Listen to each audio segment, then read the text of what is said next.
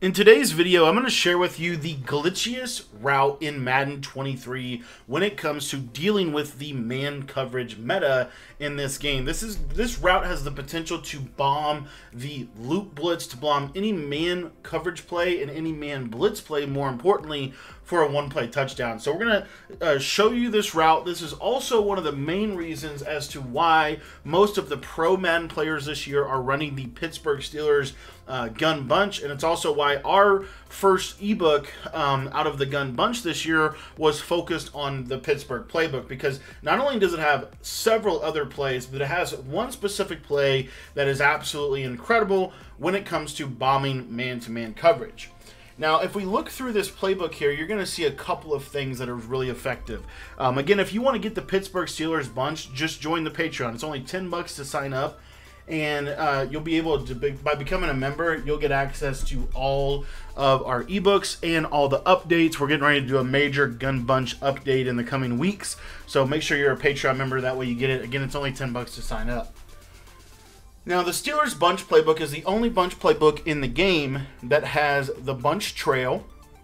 It also has the corner strike. So it's the only playbook in the game that has those two plays uh, in conjunction with one another it also has a really good verticals play, and then it also has deep corner, which is one of the best bomb plays or year in and year out, especially in this year's game. And then lastly, to top it all off, obviously it has several other effective plays, um, such as dig return, Z spot, um, double cross is actually really underrated. Uh, tight end hook, I think, is one of the most underrated plays in bunch this year. There's so many good plays in this formation, but the play that we're going to focus on for this video is the play Steelers cross. If you take a look at the fade route on the right side of the screen, that is an unbumpable fade, and this is something that is really good whenever someone likes to run a lot of man-to-man -man press.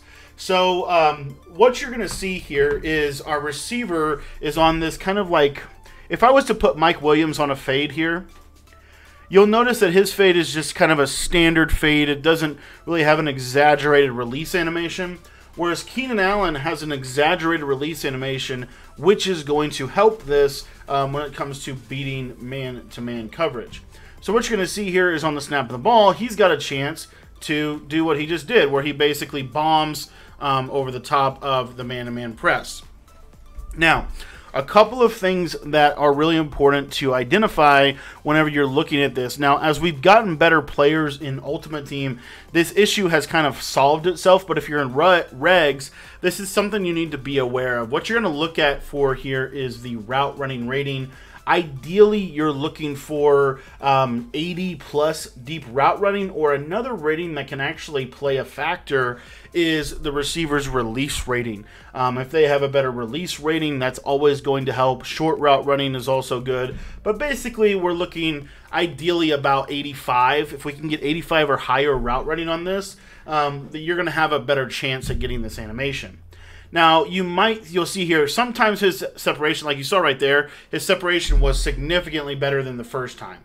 Now, another thing that you can do with this fade route is you can motion him to the outside, and this is going to keep him from uh, getting hit by that deep safety. So you see here, but however, that's the other thing about when you motion him out like that.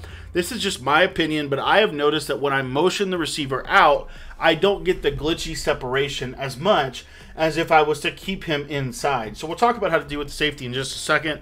But I'll show you another rep here. That time we get the separation, we can uh, freeform that outside and away. I will say also that you're noticing he doesn't always burn him over the top. Now, let me flip the play and show you Mike Williams. You notice that Mike Williams had a, a better release rating, um, or a pretty decent release rating as well, but he's also taller. Um, I will say I think height does play a factor in all of this. So um, if you want to have tall receivers, Randy Moss, is really good for this. Like Randy Moss on this route is really good in man-to-man coverage. Now this play is not only good against man-to-man coverage, even though that is what it is best for. So let me give you kind of a full setup out of this play that you can use against any coverage in the game. So what we want to do here um, basically is this very simple. We're just going to take the backside receiver and we're going to put him on um, a streak and then really that's honestly it. What you could also do with your tight end though is put him on a zig and you see that we can block our running backs. We have good protection.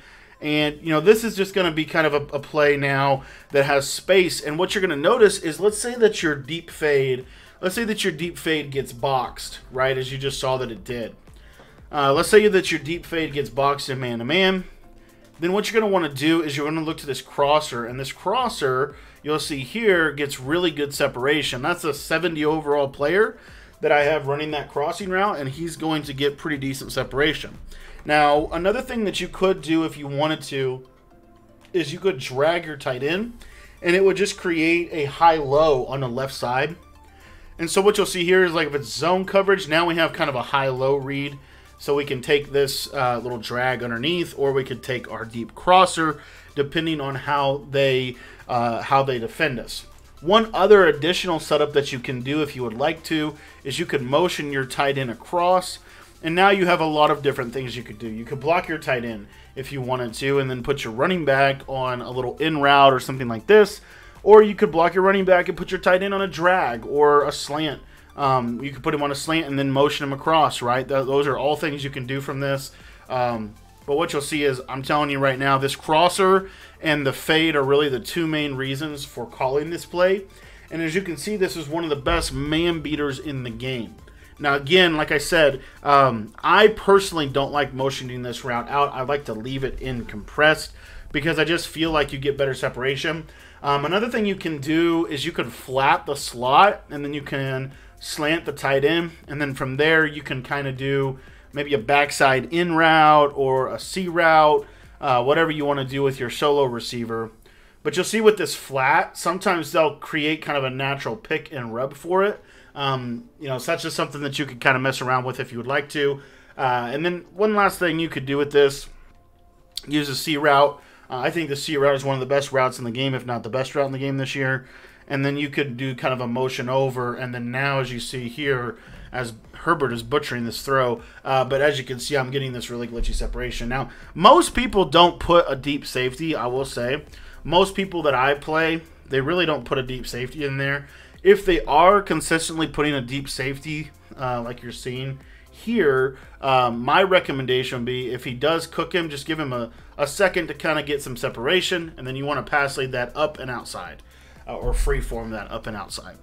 So that is the Steelers Cross. The Steelers Cross has been one of the best. I don't know if it's the best kept secret, but a lot of people um, have kind of you know been flocking uh, to the Steelers playbook for this specific uh, bomb because it is so effective against man. Now, sometimes you won't get the separation that you're looking for. So if he doesn't have a step, certainly don't throw it but a lot of times you will. And they're going to be selling out to stop your corner routes. And when they do, you can hit them with that deep fade uh, over the top. As long as we don't get nanoed in practice mode out of cover one robber, um, you'll see. You'll see here. I'll show it to you one more time. But I will say, the better route running you get on the player, the more consistent I've noticed this. As you see here, Keenan Allen has been getting separation pretty much every single time. Whereas Mike Williams, even though he might get a, a win off of the line of scrimmage, he might actually get ran down from behind. So that's just something to think about. But guys, if you want to check out more of the gun bunch offense, I think that this offense is once again one of the better offenses in the game. You can get my full gun bunch Steelers offensive ebook. Uh, we released it several weeks ago. And uh, you can get that in our Patreon, and we're going to be updating that as well for you guys. Again, it's just 10 bucks to get access to everything over there. And we got a ton of breakdowns out of the Steelers book this year. One of the better playbooks in the game for sure, especially if you run Gun Bunch. So if you want to check that out, head on down to the description below. Click the link down below to go sign up for the Patreon. Thanks for watching, and we hope to see you guys over at the Patreon page.